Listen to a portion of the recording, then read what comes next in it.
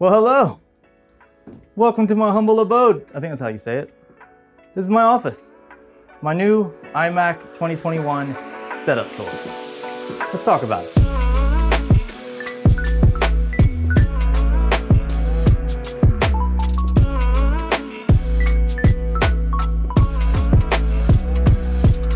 We interrupt this program to bring you a special report. This video is sponsored by CleanMyMac. It's an all-in-one application that will help keep your Mac running at its best. It's packed full of features, including ones for protection, such as malware removal and privacy scanning. This lets you know which apps have access to your camera and microphone at all times. If your Mac is running sluggish, CleanMyMac can help with speed by running the optimization or maintenance features. While the user interface is extremely simple, some may find it a little confusing if you're new to this type of application. If you fall into that category, all you need to do is run the Smart Scan feature. It will clean up junk files that are hard to find on your own, optimize system performance, and scan for malware in a matter of seconds with a single click of a button. For more information, including a free 30-day trial, make sure to hit the link in the description. So to kick it off, let's talk about the desk that I'm currently using. This is the FlexiSpot desk. It's um, one of many. They have a lot to choose from, which is one of the best reasons to go with FlexiSpot because you just have a lot of different choices and their desks are very high quality and premium sit to stand desk. So this is a motorized desk. It's extremely quiet. And over here we have our like um, ability to store different heights. So we have four different storage options, I guess, in terms of saving presets. So if you have you know, this desk in an office and you have multiple workers, or if you just want to have different positions throughout the day, so you wanna have a sitting position or a standing position, you can save those in these one through four numbers. And then you have two arrows right here that, you know, just by tapping the up, it will move the desk up and then going down, it moves the desk down. And you can hear how quiet those motors are. It's pretty quiet. And what I really like about this desk is it has two USB type A ports here and a USB-C port um, that you can connect different devices to and charge them. So there's no need to have like a wireless charger or other charger on your desk. You don't have to have any wires running or anything like that because you could just plug them right here into the front of the desk and then charge your device. One of the really cool features about it is it has a drawer unit built into the sit to stand desk. This is something that you don't see typically when it comes to these type of desks. So that was the reason why I went with this specific one because of this drawer. It's a 48 inch desk and it's available with a glass top or a wood top. It also comes in different color variations. Hit the link in the description to learn more if you wanna pick one up. In terms of its height adjustments, it can go all the way up to 47.6 inches in height and then it can go as low as 28.3 inches, so it's extremely versatile. And it can hold 110 pounds, which is definitely great in terms of lifting capacity. One of my favorite things about this office that I'm going to uh, show you throughout as I, as I show you everything is everything is on casters. And I'm super proud of it. I know it's so simple, but having everything on wheels makes a huge difference. So I can just move the desk out if I need to. I can move it back in and like I said, everything in this office is on casters. I even have this IKEA drawer unit on wheels as well. So that way I can reorganize it however I see fit. If I need some extra space, I can roll everything out of the office. Or if I want to move this desk to that wall, I can do that without having to break my back. So whenever I'm not standing at this desk area, I'm actually sitting in the Autonomous AI Ergo Chair Pro Plus. I've had this for a while and it's held up really good. Some of the things on it feel a little bit cheap, like the armrest, but other than that, the chair is extremely solid. I wish I would have went with the cloth texture instead of the rubberized texture, but you know, maybe the reason why it's held up so well is because of this rubber type design. But it is comfortable overall when you're talking about like sitting in it for a long period of time. Has tons of adjustments. It is a bit pricey coming in at like 700 bucks and for that you can pretty much get a Herman Miller. So I'm gonna leave that choice up to you. However, I'm not disappointed in the chair. I think it's a great chair. So one thing you're gonna notice about this setup is I tried to keep it as clean as possible. So we have a blue theme going on, which matches the 2021 iMac, because I did get the blue version. I just wish that uh, the front blue matched the back blue. I'm not sure why we have uh, two different color blues going on here, but in either case, I do like the blue color. And even the white uh, bezel on the front, it doesn't bother me as much as I thought it was gonna bother me. The iMac I went with is an eight core CPU and GPU with eight gigabytes of RAM and 512 gigs of storage. I chose not to spec this iMac out since it's primarily going to be for my wife or pretty much as a secondary computer to tinker with, but I do have a review or experience video coming up.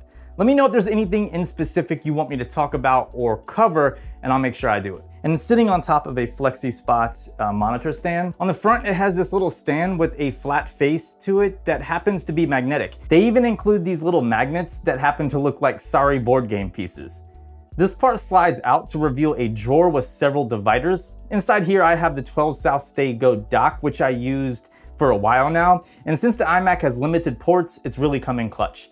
I also have an external SSD to help with my limited storage. It's from Sabrent and it's the Rocket Pro.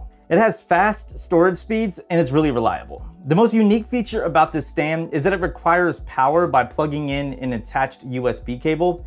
There are a couple reasons for this. The first is it provides power to the USB port on the side, which can be used to charge a device. The second is that it powers the UV lights, which can be toggled on and off by the button over here on the side.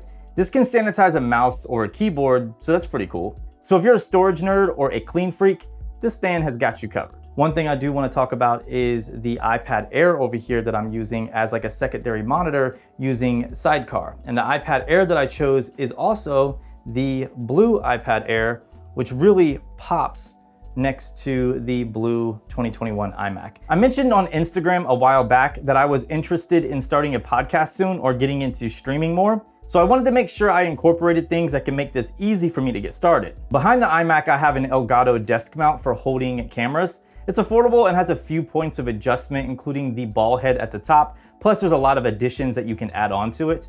Speaking of the ball head, I have my a7 III and Tamron 17 to 28 lens mounted, which I use for video calls and hopefully streaming soon. To make this possible, I simply run an HDMI cord into a Camlink 4K, which is plugged into my iMac using a USB Type A to Type C adapter. So I know I told you that I'm using the a7 III as a webcam. However, this little mount right here that I have on the Elgato stand is really cool. So if I put it into the unlock position and then just squeeze the two buttons here, I can just easily pop off the camera and now I can go and take pictures with it. I can use it outside. I could use it for video, stills, whatever I want to. And then when I'm ready to use it as a webcam again, I just come back in, hold down those two buttons, and then pop it in. And it will just click right into place. And then just to be sure, you can slide it into the lock position. Now you don't have to worry about it coming undone or anything.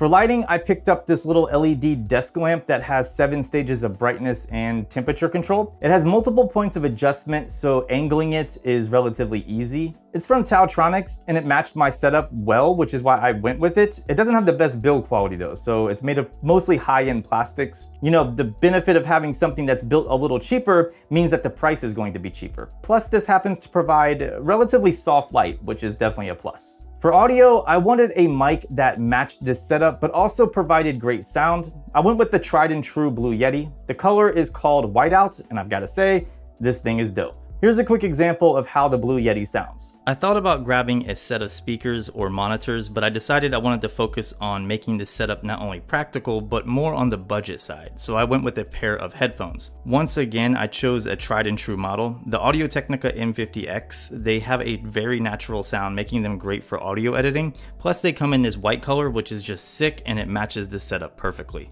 They're hanging on a Lamicall, I think that's how you say it, a Lamicall 360 degree headphone stand. It's pretty cool since it can rotate in a complete circle, which is a nice way to tuck my headphones under the desk. So what do you think of the sound from the Blue Yeti? Let me know down below. The drawer unit I'm using is the Alex unit from IKEA. It's like the number one YouTuber drawer unit. I picked up the casters to go with it, which IKEA sells, and they are definitely worth it. Inside the drawers, I'm using these clear plastic dividers, which are great for keeping the drawers clean and pretty well organized.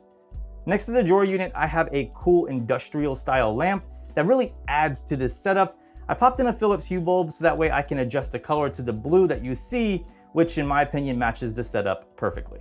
One cool thing about this setup is this artwork up here from Grid. As you can see, we have like some old school Apple electronics, like we have the original Apple Watch, we have the original iPod Touch, and then we have the iPhone 3GS. Everything has been deconstructed and there's like a little bit of literature about each component of every single Apple electronic, and it's really neat. It just makes the setup look a little bit more Apple-like, I guess, and adds like a, a nice pop to everything. I really appreciate these and shout out to Grid for sending these out. They look absolutely beautiful and I'm going to link them in the description if you feel like picking up some of their artwork for yourself. So one thing about this office is it also doubles as my multicam setup. So I have an overhead camera and I have like my A-roll camera and this is where most of my videos take place. And I wanted to get everything off of the floor to make as much space as possible. So as you can see, I have like my audio setup here with an XLR cable that runs over down the wall into my sound devices MixPre 3. And then I have an A7C here set up on a Manfrotto ball head, um, which is pointed down for my overhead shots. And then I have a Ninja V here for whenever I'm recording those overhead shots. And everything is connected using two um, impact VariPoles, which can hold like 60 or 70 pounds, like they're extremely sturdy. And um, yeah, they, they've done a wonderful job. And the best thing about this setup is these impact arms right here can just loosen and then they flip down. So whenever I'm not using them, I can loosen them up, swing them out of the way, and then tighten them up. Same thing with the audio. Whenever I want to record a voiceover or when I'm about to start a video, I can just loosen up the arms and then bring them down, tighten them up, and then when I'm done, I just push them out of the way and then tighten everything back up. So it's just like that versatility and, and ease of use that this VariPole setup offers that um, I'm a huge fan of. Now I know as I get close to this light right here, I'm gonna be super ghost-like and blown out. I have a um, Aputure 120D mounted on another VariPole going uh, horizontally across the walls. And this is the Lantern softbox. I wanted something small, but still soften the light um, as much as possible. And the lantern softbox from Aputure works really well. And again, this impact pole holds it up no problem whatsoever. And everything is mounted to these impact poles using super clamps. The super clamps are amazing. I'm actually gonna probably buy a few more because they're only like 20 bucks. And I'm thinking about mounting like a slider overhead just so I can get more dynamic overhead shots by using a slider.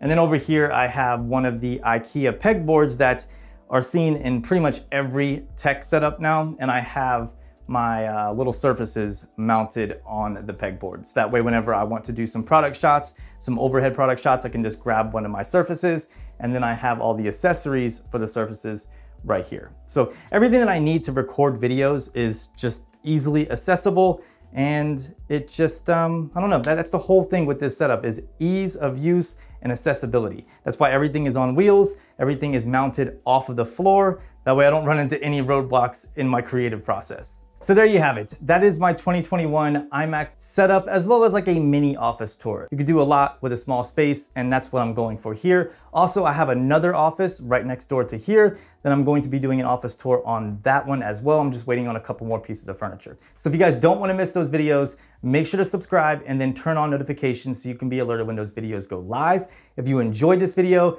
please consider giving it a thumbs up and um, I'll see you beautiful people in the next one.